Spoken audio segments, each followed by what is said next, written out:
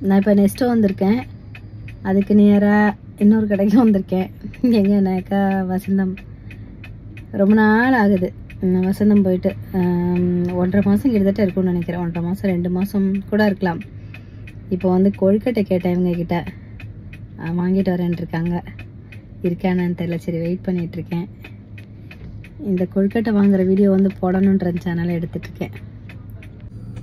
நான் இலையில வச்சுருக்க கொழுக்கட்டை கேட்டாக்கா இது வாங்கிட்டு வந்திருக்காங்க. சரி ஓகே இதையும் பார்ப்போம் சாப்பிட்டு. இது பேர் எல்லடதுல இலை கொழுக்கட்டை. நீங்கள் முன்னாடி கொடுத்தது மோதகம். இலை கொழுக்கட்டை கிடச்சிருச்சு. மாற்றி வாங்கிட்டு வந்துட்டாங்க. அதையும் சாப்பிட்டுட்டேன். இதையும் சாப்பிட போகிறேன்